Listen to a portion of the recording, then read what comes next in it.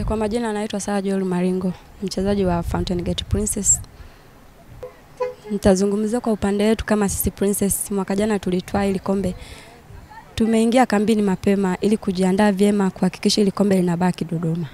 Sisi kwetu tunajivunia kuwa timu kubwa kwa sababu mwaka jana zilikuwa timu ndogo sana.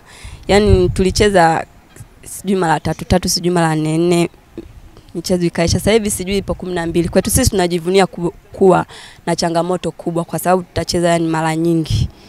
Kwangu mimi kama itakuwepo Uganda, Uganda ndo nasikia timu kubwa, lakini pengine ni jina tu na sio wachezaji. Kwetu sisi tutatetea kombe letu na litabaki Dodoma, tutajituma kadri ya uwezo wetu na maticha wanaendeleza kutufundisha jinsi ya kulitetea kombe letu. Yatasaidia sehemu kubwa sana kwa sababu tupo tunazoeana kidogo kidogo, hadi haja afika mashindano ya Fountain Gate tutakuwa tushazoeana na tutafanya vizuri zaidi. Najivunia kwa sababu kuna uboresho mkubwa, hicho ndicho nitachojivunia. Waje kwa wingi washuhudie kambumbu inavyopigwa hapa uwanja wa Fountain Gate Dodoma. Gates Tournaments 2023 24 kabumbu ni kujaza.